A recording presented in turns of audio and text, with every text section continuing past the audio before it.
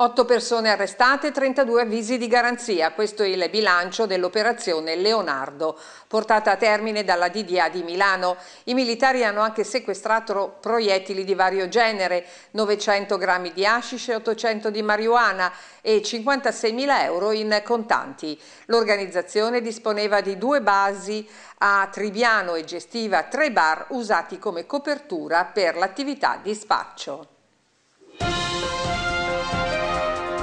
Dopo il caso Expo, ora quello sanità.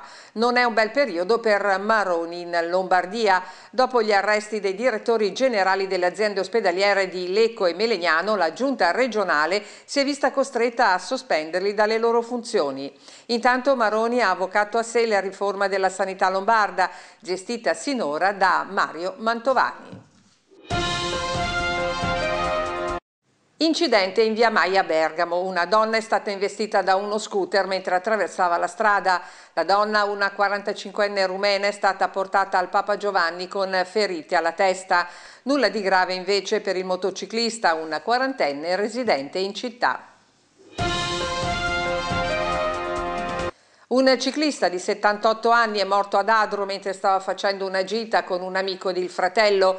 Il pensionato, mentre pedalava, ha cercato di prendere la borraccia dell'acqua quando ha perso l'equilibrio ed è finito violentemente contro un albero. Due bresciani sono stati arrestati dalla Guardia di Finanza per reati fallimentari. Avevano portato al fallimento tre società che operavano nel settore del commercio delle auto, sottraendo beni per un milione e mezzo di euro. Le fiamme gialle hanno sequestrato Benny per un importo equivalente.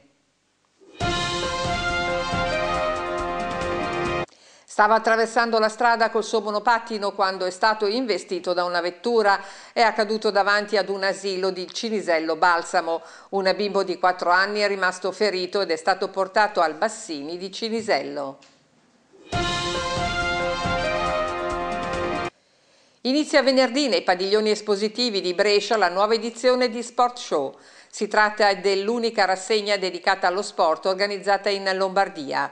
Fino a domenica si farà spazio a tutte le discipline sportive, con la presenza a Brescia di diversi campioni delle varie specialità.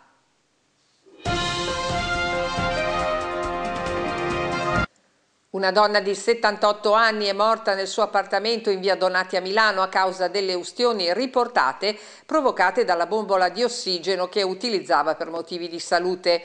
Sono stati i vicini a dare l'allarme. Sono ben 90 gli eventi organizzati dalla Statale di Milano per celebrare i 90 anni di fondazione dell'Ateneo.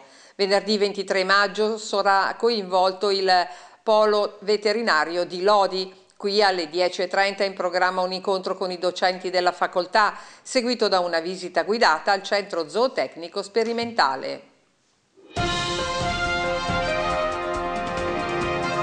Un uomo di 46 anni ed una donna di 48 anni sono morti in un incidente stradale avvenuto sulla cerca in territorio di Settala.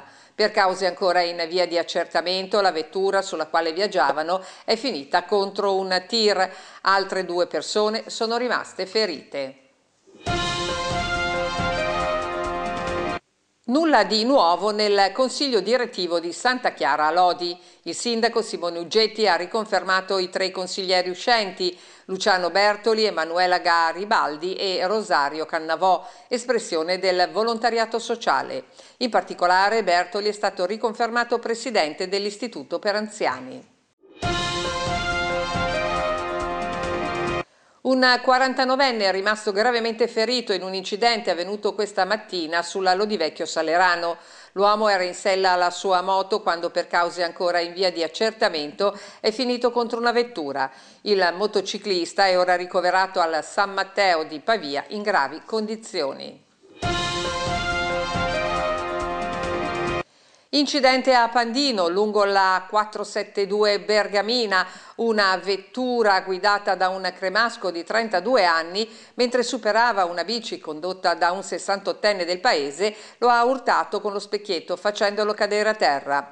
L'uomo è stato soccorso e portato in ospedale a Crema.